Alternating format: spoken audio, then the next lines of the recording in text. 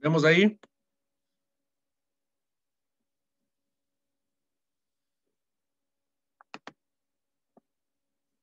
Erika, ayúdame, Sí, confesión. A ver, una vez una sola mujer dulce y amable en mi brazo, el vuestro pulido se apagó. Sobre el denso fondo de mi alma, ese recuerdo no ha palidecido. Era tarde, al igual que una medalla nueva. La lluvia llena apareció, y la solemnidad nocturna, como un río, sobre París dormido se extendía. Los gatos por debajo de las puertas de coches desliz- deslizábanse furtivos. El oído del ancho del acecho o como sombras caras. Nos seguía despacio y de súbito, en medio de aquella intimidad abierta en la luz pálida. ¿ya? Nos vamos a encontrar con el mismo, con la misma idea, ¿no? No está, está un gato, no un perro, en este caso sombrío, eh, vacilante, pálida, ángel, que en este caso se refiere a la mujer, no a un ángel en especial, ¿sí? Y en, esa idea nos va mostrando una serie de, de símbolos, ¿no? Y de palabras relacionadas con lo mismo.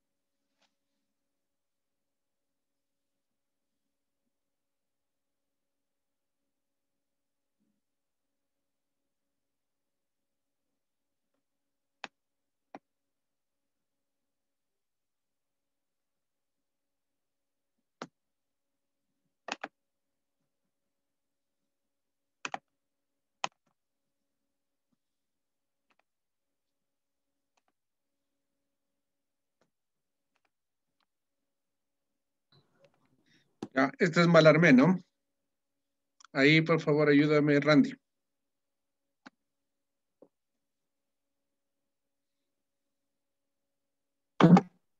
Eh, ¿Le puedo acercar un poco más, por favor? ¿Sí? Ya a ver. Una negra por el demonio sacudía. Quiso en un niño triste gustar de nuevos frutos criminales bajo su veste agujereada. Esta voraz prepara sus trabajos astutos. Con su vientre compara dos airosos pezones y allá don- donde la mano no consigue ascender, eleva el golpeo sordo de sus tacones, como una rara lengua torpe para el placer. Contra la desnudez miedosa de Gacela que tiembla sobre el, sobre el dorso, como un gran elefante enajenada, aguarda y se admira y encela, y ríe con sus dientes ingenuoso, ingenuos al infante. Y entre sus piernas donde víctimas se, se acuesta, bajo la crin, la negra piel abierta al azar, la extraña boca su paladar manifiesta, pálido y rosa como un caracol del mar, de mar. Igual, ¿no? En este caso comienza diciendo negro, no blanco. Igual niño triste. eh, obviamente en la parte de acá la sensualidad y el erotismo. eh, lengua. Desnudez. ¿Sí? Caracol y algo más. ¿Sí? Pero vamos, nos falta uno más, el principal, ¿no? Que en este caso es Berlín.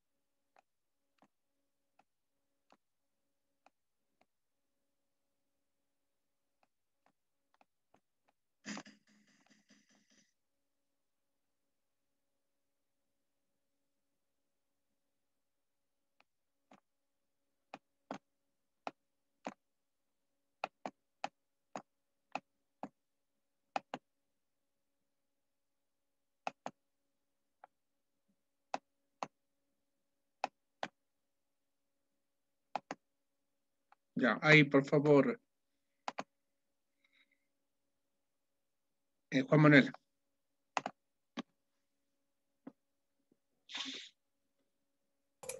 Desde Yo soñaba. yo soñaba su pompa imperial, la Persia astrológica y el Fausto papal, y de San y de Sardanapalo, el lujo oriental. Me enseñó Helio las turbias violencias con ardientes músicas y fuertes esencias, todos los are- herenes de las decadencias. Viva aún la locura de mi calentura, me aplasta el vivir mediocre y amargo. Y voy olvidando mi bella locura, no sin resignarme mucho, sin embargo. Una vez acábale. Sea lo grandioso, ya está muy distante, lo vulgar, lo lindo me aburre. En concreto, yo siempre he odiado la rima asonante, la mujer bonita y el hombre discreto. Ya. Listo, igual. Entonces tenemos la misma posibilidad de pompa, de, en este caso, Persia, Fausto, que tiene que ver con el libro de Goethe, Sardanapalo, Heliogábalo, ¿no? Que en este caso tienen que ver con dos pecados capitales, ¿no? Heliogábalo significa ser glotón. Em, Bella locura, igual, mujer bonita, y en este caso lo vulgar, yéndose en contra de lo que ahí estaba establecido en ese momento. ¿Sí? Podemos concluir entonces lo siguiente sobre estos autores.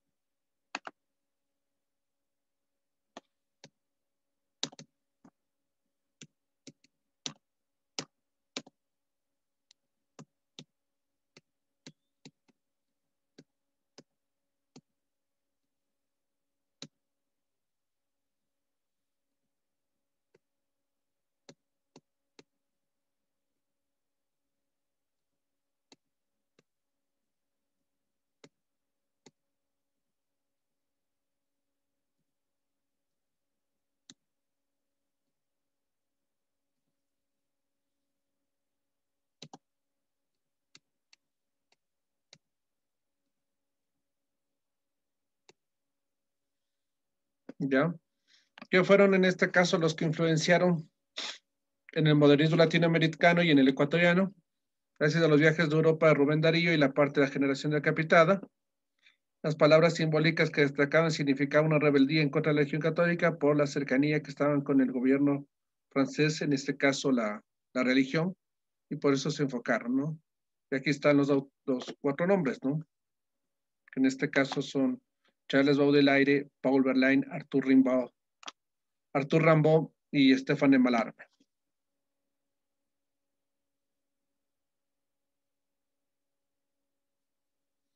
Si una de las características era la musicalidad, ¿nos podríamos encontrar con versiones musicales de sus poemas?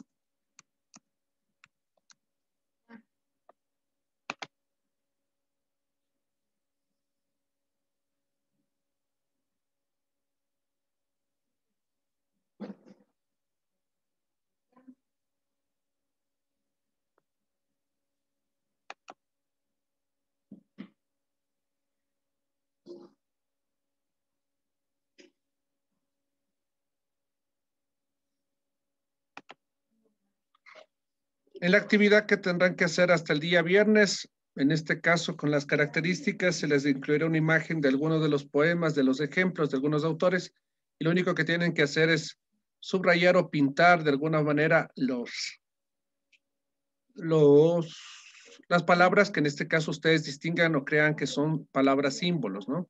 Tal como se ha hecho en las actividades en clase, ¿sí? Para entender si es que lograron, en este caso, dilucidar o deducir este tipo de ejemplos.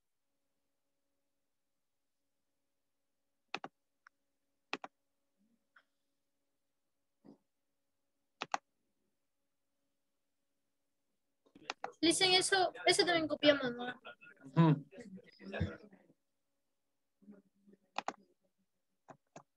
Ya con esto nos introduciríamos en los autores latinoamericanos, ¿no? Sí, de eso sí vamos a, exponer a detalle su vida, ¿no? Porque eso es lo que tenemos nosotros que ver, tanto los autores latinoamericanos como los ecuatorianos.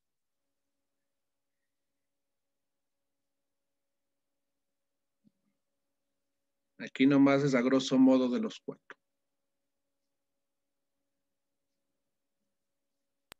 Listen cómo dijo que se llamaban esas palabras.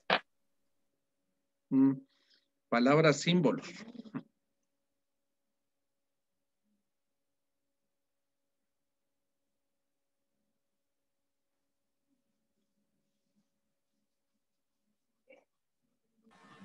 Dicen copiamos eso.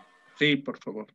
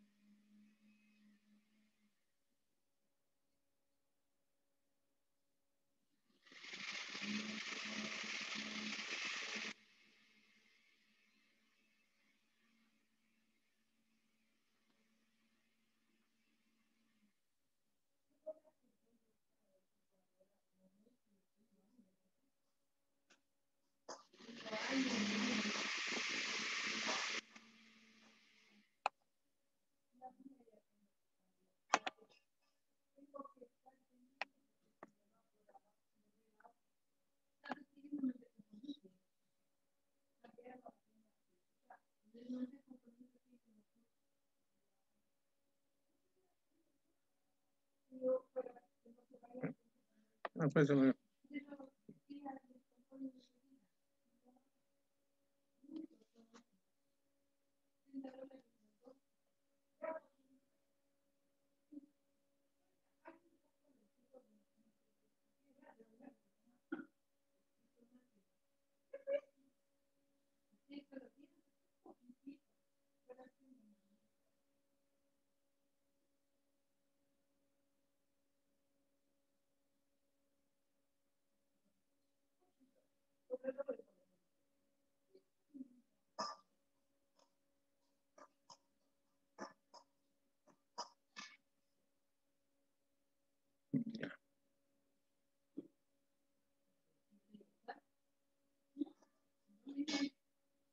Para terminar, vamos a ver un ejemplo musical de sus obras, ¿no? En este caso, La siesta del fauno de Estefane Malara, musicalizado por Claude Debussy.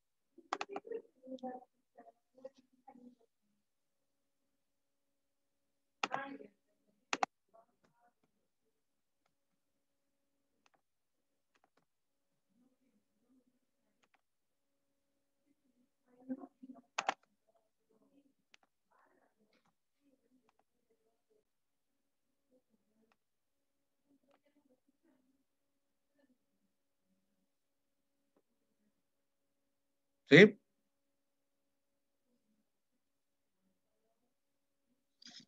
Nadie me dice nada, ni me, me afirman con la cabeza. Sí se ve, Listen.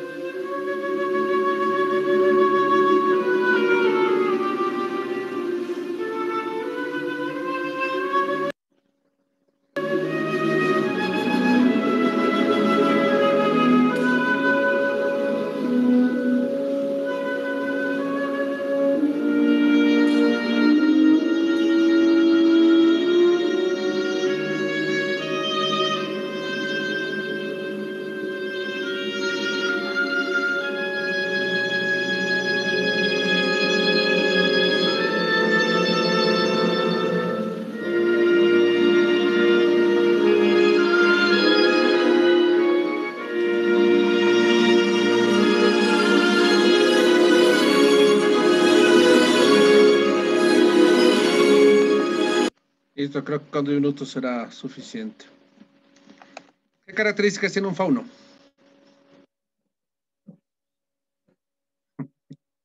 Sus cuernitos. Ya, Y las piernas.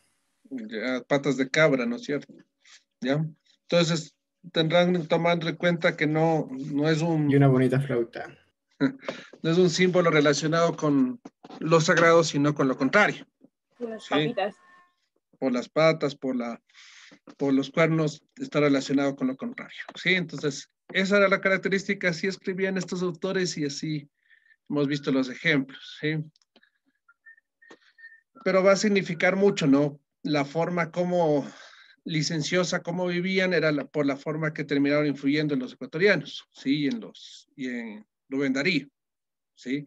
Porque en este caso, los, los cuatro de la generación decapitada también tuvieron una forma muy licenciosa de vivir y, bueno, no se reunían, al igual que en este, en este caso, el eh, Charles Baudelaire sí, sí hacía reuniones con los demás poetas y con otros artistas. En esas reuniones sí terminaban en, en este caso, en una serie de, de festividades, en este caso, para poder un poco graficar cómo eran esas reuniones. ¿sí? En esa película que yo les digo, ahí se grafica un poco de esa reunión y porque en un momento de la, de la historia llegan a hablar sobre la relación que tenían con Baudelaire.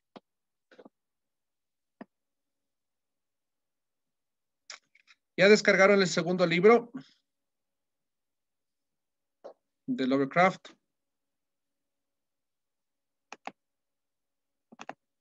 Voy a mandar al chat de una vez, ¿no? Para que con eso terminemos, ¿no? A mí no me funcionaba.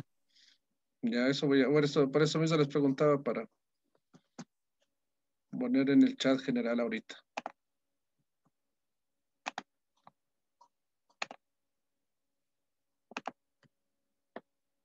Porque el otro sí les dice descargar la anterior semana.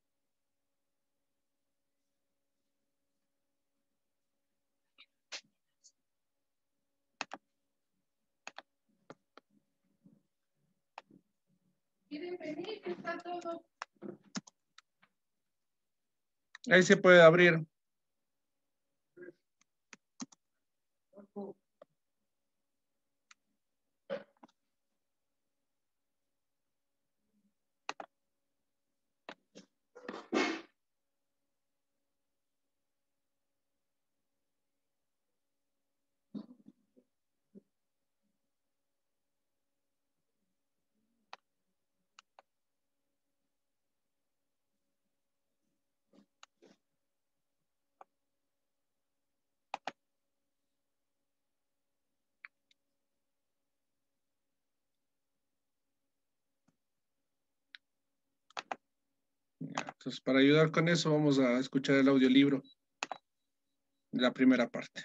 Tenemos todavía 10 minutos.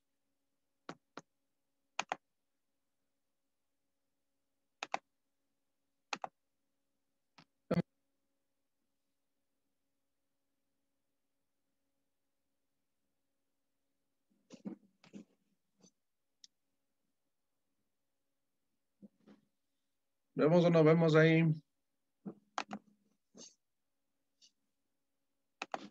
Sí se ve el diseño.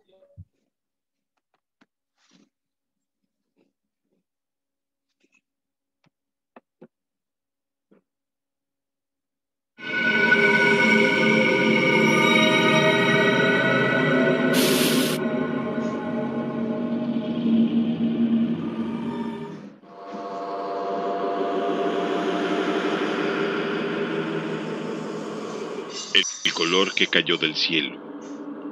De Howard Phillips Lovecraft. Primera parte.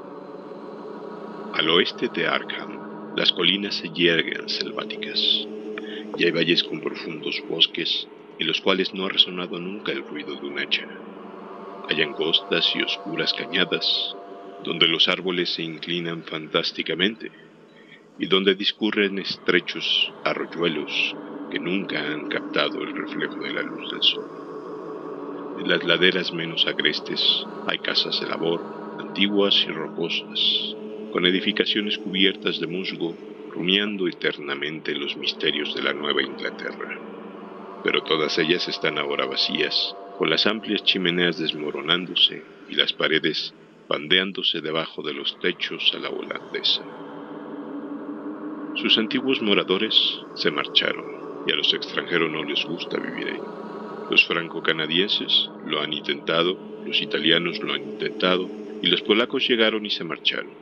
Y ello no es debido a nada que pueda ser oído, o visto, o tocado, sino a causa de algo puramente imaginario.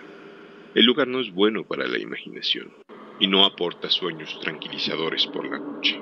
Esto debe ser lo que mantiene a los extranjeros lejos del lugar, ya que el viejo Amy Pierce no le ha contado nunca lo que él recuerda de los extraños días. Amy, cuya cabeza ha estado un poco desequilibrada durante años, es el único que sigue ahí y el único que habla de los extraños días y se atreve a hacerlo, porque su casa está muy próxima al campo abierto y a los caminos que rodean a Arkham. En otra época, había un camino sobre las colinas y a través de los valles que corrían en mi recta, donde ahora hay un marchito erial. Pero la gente dejó de utilizarlo y se abrió un nuevo camino que daba un rodeo hacia el sur. Entre la selvatiquez del erial pueden encontrarse aún huellas del antiguo camino, a pesar de que la maleza lo ha invadido todo. Luego los oscuros bosques se aclaran y el erial muere a orillas de unas aguas azules cuya superficie refleja el cielo y reluce el sol. Y los secretos de los extraños días se funden con los secretos de las profundidades, se funden con la oculta erudición del viejo océano y con todo el misterio de la primitiva tierra. Cuando llegué a las colinas y valles para acotar los terrenos destinados a la nueva alberca, me dijeron que el lugar estaba embrujado. Esto me dijeron en Arkham, y como se trataba de un pueblo muy antiguo lleno de leyendas de brujas, pensé que lo de embrujado debía ser algo de las abuelas, habían susurrado a los chiquillos a través de los siglos. El nombre de Marchito Arial me pareció muy raro y teatral, y me pregunté cómo habría llegado a formar parte de las tradiciones de un pueblo puritano. Luego vi con mis propios ojos aquellas cañadas y laderas, y ya no me extrañó que estuvieran rodeadas de una leyenda de misterio. Las vi por la mañana, pero a pesar de ello estaban sumidas en la sombra. Los árboles crecían demasiado juntos, y sus troncos eran demasiado grandes, tratándose de árboles de Nueva Inglaterra. En las oscuras avenidas del bosque había demasiado silencio, y el suelo estaba demasiado blando con el húmedo musgo y los restos de infinitos años de descomposición. En los espacios abiertos principalmente, a lo largo de la línea del antiguo camino, había pequeñas casas de labor, a veces con todas las edificaciones en pie, a veces con solo un par de ellas, y a veces con una solitaria chimenea o una derruida bodega. La maleza reinaba por todas partes, y seres furtivos susurraban en el subsuelo.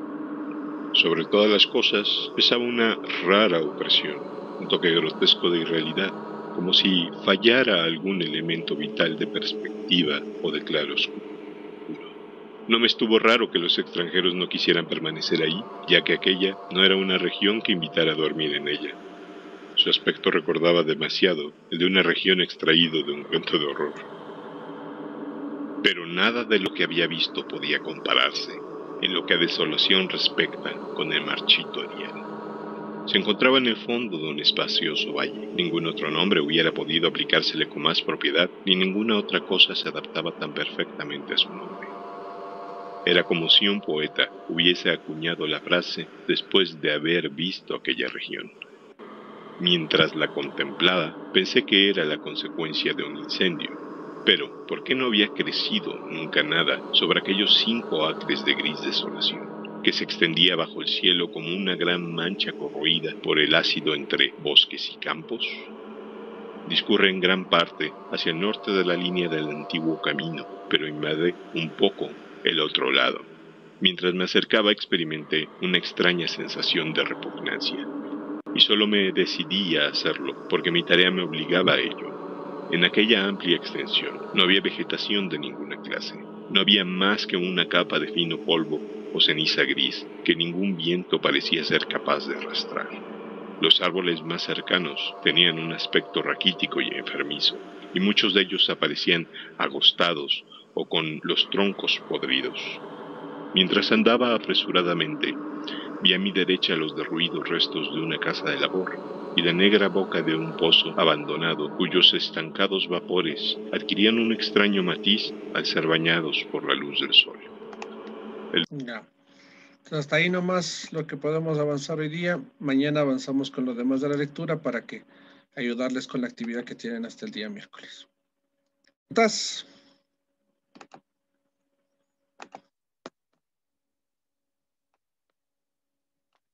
Listo, chicos, todos mañana les pongo en el chat igual el audiolibro.